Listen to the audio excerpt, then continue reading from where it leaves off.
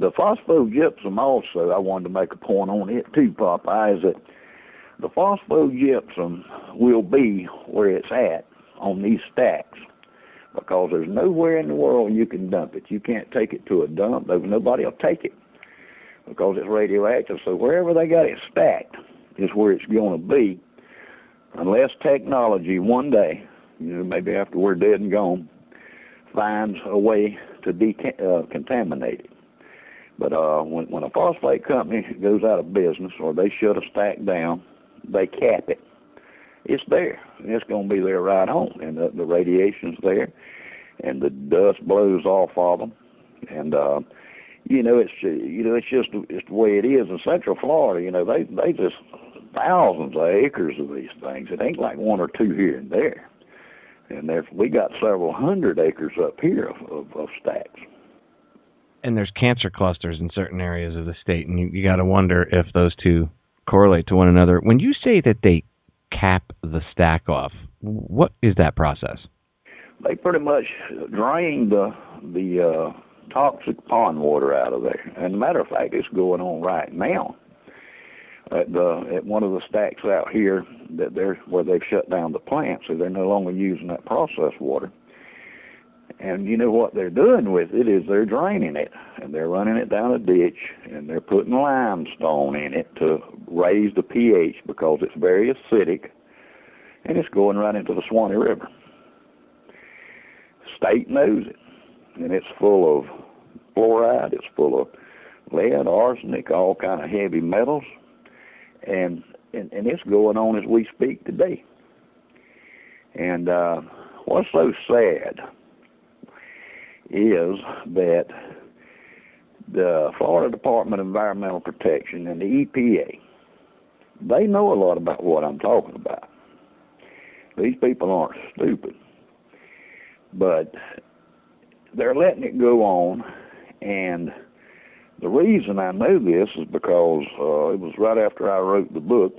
I knew of violations out there that needed to be confronted because uh, I didn't want other people to get sick like I got sick. And uh, you know, it's just the right thing to do. You see something wrong, you're supposed to to speak up. So I called the, the EPA and told them. Well, no matter of fact, uh, I called them, but it was later on. I filled out a, a reported environmental violation online on the computer. The EPA's got a site.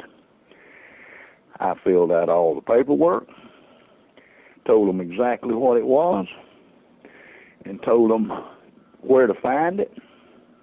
And they had a place down there, you know, you could re- re- remain anonymous or you could tell them who you were. Well, I told them who I was because I wanted them to know that I knew what I was talking about, and they needed to investigate this and put a stop to it.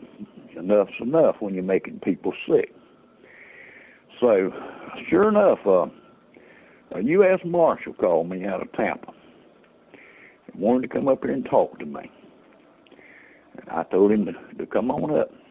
So he loaded up in the car in a few days. We made an appointment, and he showed up at my house. He showed up here with two Florida Department of Environmental Protection uh, people. And they were two separate cars. One was U.S. EPA, the other one was Florida. They came in the house. We sat around my kitchen table, and I told the guys what was going on, and I said, "Look, I've carried this on my shoulder now for years, and it, you know, I said I, I've done all I can do."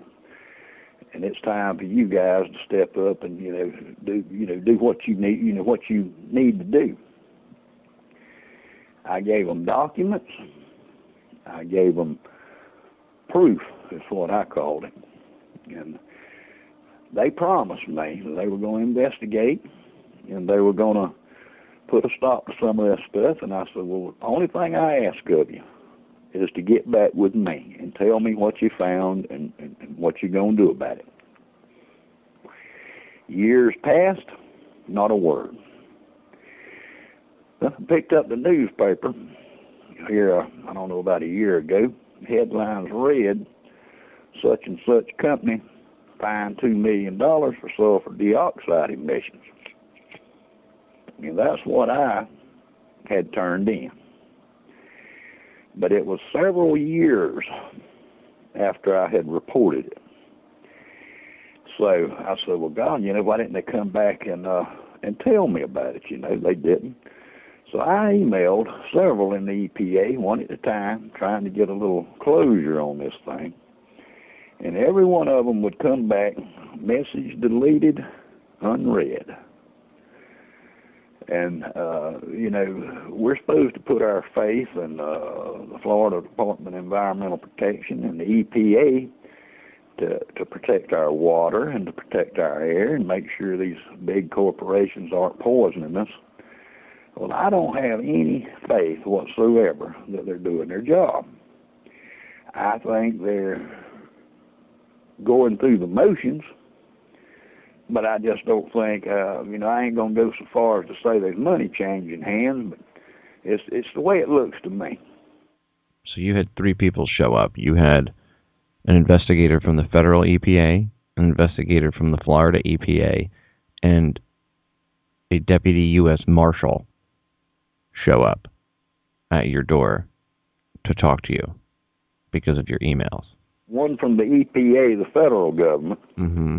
and the other two was from the Florida, the FDEP, which you know supposed to do Florida, you know. But I went to the EPA first because I didn't think the FDEP were doing their job to start with, so I went to the feds. Well, the feds called them. So when they come out here, everybody's still in the same basket. You understand?